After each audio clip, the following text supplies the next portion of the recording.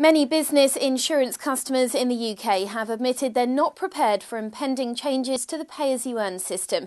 According to research conducted by Sage UK, only 64% of firms that responded to their poll are ready for the introduction of real time information. Associate Product Manager at Sage, Nielsen Watts, said it's a concern that so many businesses remain unaware of the changes that are coming in next spring. The impact of RTI on businesses is that they'll have to start providing information about employee PAYE, national insurance, and student loan information to HMRC at the point of payment every month instead of at the end of the year. Sage UK provides a wide range of services to 800,000 businesses in the UK. This story was brought to you by QBE, the business insurance specialist.